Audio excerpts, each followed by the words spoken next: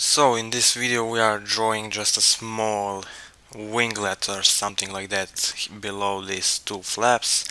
So that's gonna be the job for today. For the next video we just have some fillets to do and we are done with this wing. So let's start with a top plane and we are making plane by 110 in top direction and another plane by top plane. This time dimension is gonna be 250 so two planes. First plane we use for a first sketch. And let's hide them both here in design tree. Okay now in this sketch we have to do two lines. So one and two something like this. Now this left one is gonna be center line. Make sure that both points here are horizontal and same here.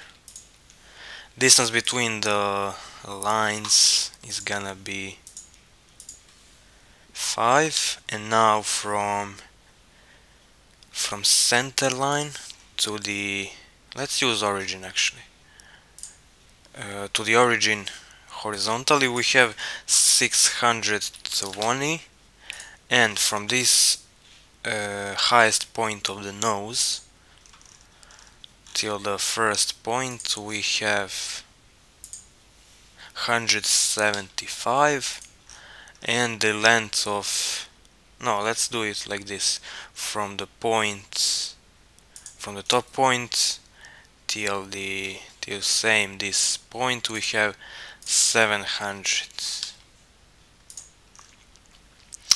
so that's the first sketch done. Now we use the second plane we made. And in this sketch we are gonna draw just a two point spline. So first point of this spline is gonna be in this point of the previous sketch and the second point goes somewhere around here and the point of uh, the point of the spline and the point of the previous sketch is again horizontal and we can check that by making dimensions from point to point which is gonna be 5 to 5 and from the and from the point till this point we have 50 now we need to drag the handles of the spline. This bottom one is gonna be vertical and this one is gonna be narrow to this direction. So we add the angle between line and the handle. We have 9 degrees. The top handle distance is gonna be 750 and the bottom one is gonna be 500 okay so for this we are gonna use boundary surface. So we go to surfaces boundary surface and direction 1 is gonna be this sketch and this one. Now let's look from the from behind like this. And for the sketch that is uh, the top one so the top sketch is gonna be normal to profile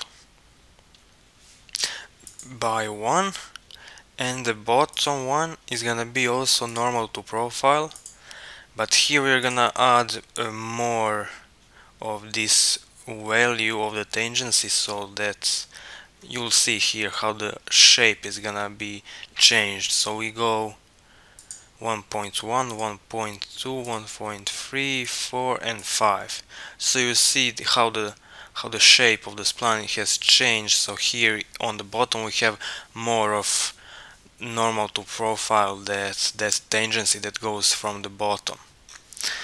And that's the surface done.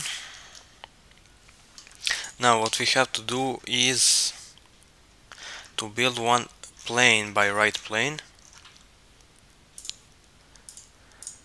Sorry. And it's gonna be defined by this vertex here of the surface.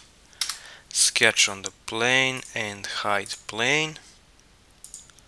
Also I'm gonna hide our main solid body for this to be easy to see this surface but because we are here drawing most of the most of the sketch we need so we start with three point arc. Uh, make sure that this second point of the arc is uh, above above the left one. We need two points spline like this.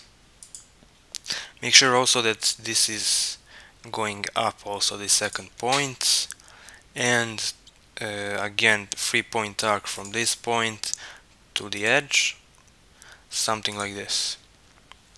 Now let's first add dimensions. So we have from this point to the origin vertically 167.5 and yeah make sure that this point is coincident with this edge. Okay now when that's done we have from the point till the edge 250 15 and from yeah let's bring up let's drag this like this and bring up this point so when we add dimension between this point and this one we have difference of 12.5 where the right point is above the left one. Radius for this arc is gonna be 450 and now let's proceed to the next. So be between this point and this one vertically we have I mean horizontally sorry 17.5 and between this point and this one we have 99 also make sure this point is gonna be coincident with this edge. The distance between this point and this one vertically to 21.5 and the radius here is gonna be 250 now let's uh, drag the handles of the spline both going down and make them both vertical. So the distance for left one is gonna be 50 for the right one we have 90 now you'll see when we show our body now and we use our plane we used for this sketch and do a section on it like this. You will see why this sketch we just draw is having this uh, this shape and these dimensions so it doesn't actually cross none of these um, two flaps it's not going up. It's not gonna be visible on top of them. It's just going through the middle and down. You'll see now what I'm talking about. Let's disable the section view and hide the nose. So when we get out of the uh, sketch and we trim our surface this top thing and now when we show our nose you see that nothing of that none of that uh, winglet is gonna be visible here on the top. Only from the bottom. And what's left to be done is to use a mirror bodies to mirror to mirror this surface body on the right plane to have it also on this side thicken commands.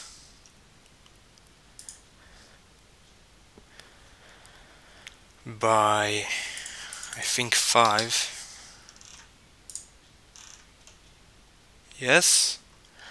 We can use this direction so we are going to the I think it, sh it should go to the left like this. Okay and make sure to merge results with this body let's just check is everything okay here? It seems that it is. Now as I said this is not a hundred percent or something like that true rep representation of the real wing. This is just how I was able to see the wing from the images. And of course we need the same thicken here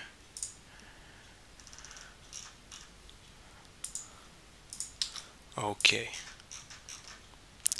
Now in this video what's gonna be left to do is to delete. So go here to solid bodies click on this boss and press delete on keyboard click OK. And also go to surfaces and delete all surfaces. We don't need that geometry right now. And that's the stuff about the wing done. Now what you can do actually is to play with this model and put all the fillets in inside of this model by yourself. If you want if you don't want you can do it with me in my next video. Otherwise than that everything is actually being done and I think I'm gonna be uploading just a short video where I'm gonna show how to uh, add appearance to this part and then render it easily in the KeyShot. So that was everything I hope you enjoyed and see you in my, some of my, my next videos.